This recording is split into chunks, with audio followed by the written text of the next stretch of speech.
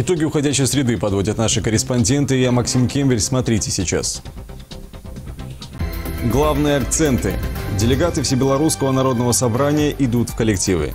Качество работы медицины сказывается на продолжительности жизни нашего населения. О чем еще говорят? Привычка быть здоровым. В городе стартовала профилактическая акция «На что направлено движение». 100 идей для Беларуси. Разработчик из Бобруйска представил город в финале республиканского проекта. Мы хотели сделать что-нибудь полезное для нашей школы. Чем уникален девайс? А также помощь пациентам, индивидуальное жилье и весна близко. В страну возвращаются первые перелетные птицы. Какие?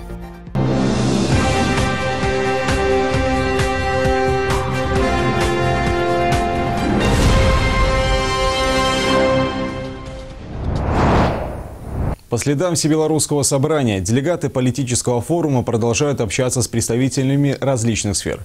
Главный тезис главы государства – донести всю информацию до каждого белоруса в действии. Подобные встречи проводятся и в Бобруйске.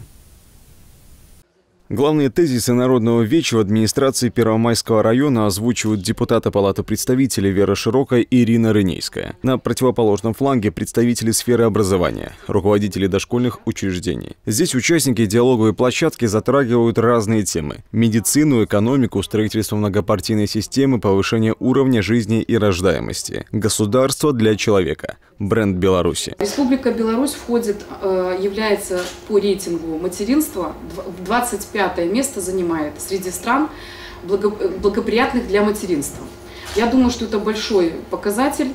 А, у нас увеличилась продолжительность жизни, да, 74,5 с половиной лет. И это тоже говорит о том, что качество, наверное, и уровень жизни, качество работы медицины а, сказывается на продолжительности жизни нашего населения. На сегодняшний день по индексу Doing Business – по итогам 2020 года экономика Республики Беларусь заняла 49 место из 190 стран. И все-таки темой номер один становится развитие системы образования. В частности, специалисты обсуждают изменения в профильном кодексе. Например, в микрорайонах с массовой жилой застройкой могут изменяться нормы комплектования дошкольных групп. Особенно это важно для многодетных. Безусловно, ничто не стоит на месте. Хоть э, образование как сфера более, наверное, такая консервативная, нельзя рывками менять что-то и очень быстро это делать. Вместе с тем мы должны с вами совершенствоваться. Что касается самого кодекса об образовании, то документу после всех обсуждений предстоит пройти два чтения, еще ряд необходимых процедур, и только после официального опубликования он вступит в силу. Но работа диалоговых площадок продолжается по всей стране. Задача делегатов ВНС – донести концепцию Народного собрания до каждого белоруса. Максим Кембель, Андрей Богдан, Бобруйск, 360. В Беларуси выздоровели и выписаны 271 733 пациента с COVID-19. Зафиксированы 281 707 человек с положительным тестом на коронавирус. Всего проведено 4 миллиона 824 611 исследований. Такие данные приводит Минздрав. В Беларуси продолжается массовая вакцинация российским препаратом «Спутник Ви». Согласно мировой практике, в первую очередь прививают медиков, которые находятся в зоне риска. Также проходит проверку качества и китайская вакцина производства «Синофарм». Препарат уже одобрен для широкого применения. В ходе испытаний он показал более 79% эффективности. Сегодня объявлены победители конкурса «100 идей для Беларуси». Среди финалистов – бобручанин. Наш город представляет Никита Кондратьев. Номинация «Промышленные и строительные технологии и производства». Разработка восьмиклассника 23-й школы «Автоматический звонок». Сам аппарат состоит из компьютера, светодиодов и экрана. Работать может как в автономном, так и ручном режиме. Изобретатель, кстати, в робототехнике новичок. Когда мы хотели сделать устройство, мы смотрели всякие разные проекты. Они все были бесполезны. Мы хотели сделать что-нибудь полезное для нашей школы. Так зародилась идея сделать автоматический звонок. Он упростит э, работу нашему вахтеру. К слову, этот сезон республиканского конкурса юбилейный. Всего за 10 лет проекта поступило свыше 15 тысяч заявок и было реализовано свыше 3 тысяч разработок. 100 идей для Беларуси – это уникальная коммуникационная площадка, на которой свои проекты наравне могут презентовать как школьник из глубинки, так и молодой ученый. Этот проект позволяет выделять, выявлять лучших способных новаторов, рационализаторов, изобретателей, талантливых ребят, которые в последующем двигают науку дальше, становятся кандидатами наук. Так должно быть. Должно быть движение идти вперед. Атмосфера творческая. Я увидел, с какой любовью, с каким интересом ребята представляют свои проекты. Это просто ну, дорогого стоит. Золотой час, продуктовая корзина и письма счастья. С 1 марта изменится ответственность за нарушение ПДД. Как? Громкие заголовки дня далее в специальном обзоре. Правило золотого часа при оказании медицинской помощи должно соблюдаться по всей стране. Об этом заявил заместитель премьер-министра Игорь Петришенко. Он напомнил, что в Беларуси созданы опорные точки, куда должен быть доставлен каждый пациент, которому стало плохо. Таких центров порядка 10 в нашей стране. Логистика выстроена, она сейчас оттачивается.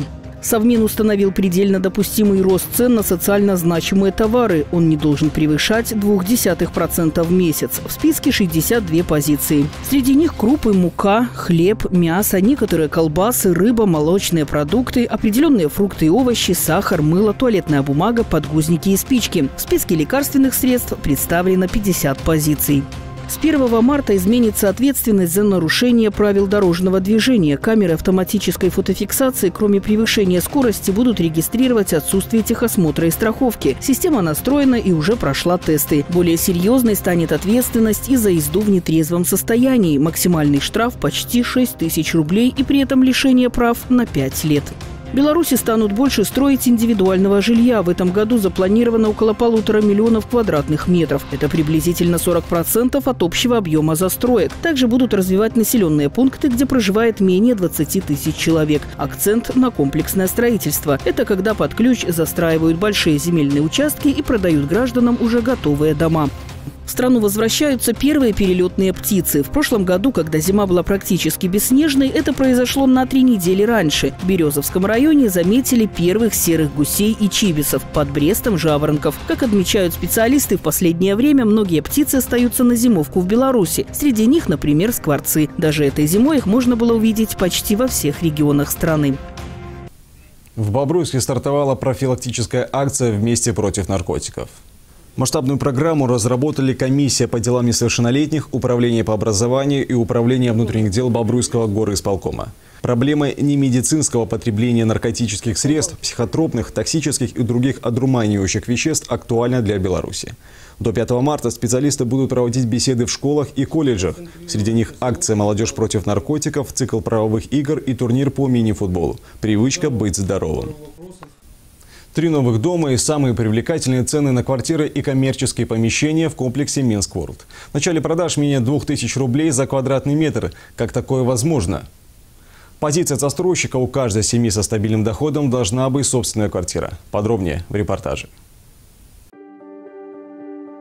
Новый современный дом и лучшие цены только на старте продаж. Дом Сальце в квартале мировых танцев и всего 1999 рублей за квадратный метр. И это не все приятные бонусы. Застройщик убежден, что у каждой семьи со стабильным доходом должна быть своя квартира. Это прежде всего индивидуальный подход. В доме Сальса действует и беспроцентная рассрочка до 100 месяцев. И долго ждать заселения не придется. Дом сдадут ровно через год. Все квартиры свободной планировки от 31 до 62 метров. Первый этаж – особая фишка. Здесь 6 особых квартир с террасами, а высота потолков 3 метра 30 сантиметров. На остальных этажах 2 метра 70 сантиметров, а на 12 этаже еще и дополнительные балконы. От квартала мировых танцев до центра несколько минут на автомобиле, и через жилой комплекс Минск World проходит третья линия метро. Все рядом, в квартале мировых танцев две школы, а всего в комплексе Минск World 8 школ и 12 детских садов. Еще две новостройки в квартале Азия, Бангкок и Мумбаи. Цена за квадратный метр в этих домах от 2600 рублей и действует рассрочка на срок до 100 месяцев.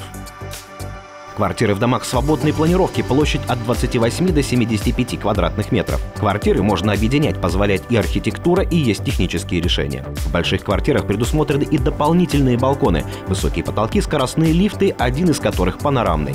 Оба дома рядом с метро, рядом обстановки общественного транспорта.